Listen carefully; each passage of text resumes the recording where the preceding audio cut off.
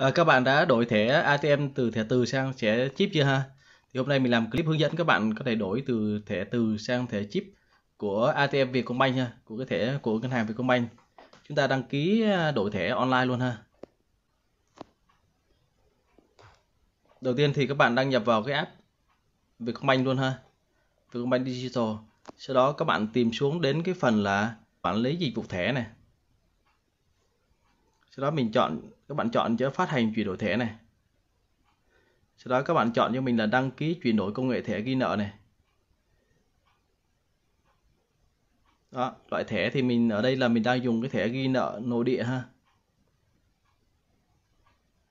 Rồi đó, nó sẽ hiện lên cái số thẻ của mình, tên tài khoản. Rồi đến à, số tài khoản ha. Sản phẩm là về Vietcombank Connect 24 ha. Đúng như thông tin của mình đã đăng ký hồi mà mình mở thẻ ha.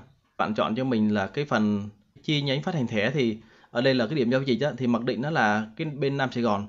Hồi đó mình làm ờ, cái thẻ ATM là ở bên quận 7 thì nhưng mà hiện giờ mình đang ở nhà bè ha. Thì mình chọn cái ờ, cái nơi khác ha chi nhánh khác. Mình chọn cái tỉnh thành phố ha. Ở đây là chi nhánh khác mình ở nhà bè thì mình cũng chọn lại Hồ Chí Minh rồi mình chọn ờ, nhà bè. Thì trong nhà bè mình chọn cái chi nhánh gần nhà mình nhất á là trụ sở chi nhánh Tân Sài Gòn này. Sau đó mình kéo uh, kéo xuống dưới ha.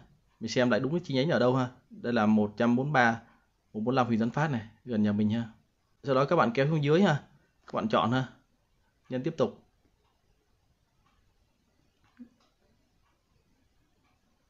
Đó. Nó sẽ ra lại các cái thông tin xác nhận ha thẻ rồi số thẻ thương hiệu thẻ tên tài khoản. Ở cái nơi nhận thẻ.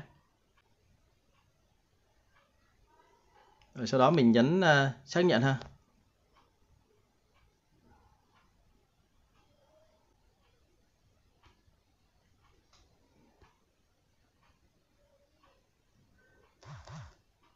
Vậy là mình đã đăng ký uh, chuyển đổi à, từ thẻ từ sang thẻ chip thành công ha.